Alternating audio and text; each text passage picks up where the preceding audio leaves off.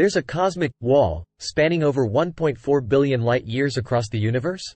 It's called the Hercules Corona Borealis Great Wall, and it's one of the largest known structures in the cosmos. This mind-boggling arrangement of galaxies and cosmic matter stretches farther than our imagination can comprehend. Just imagine, if you could travel at the speed of light, it would take you over 1.4 billion years to journey from one end to the other. Talk about an astronomical road trip.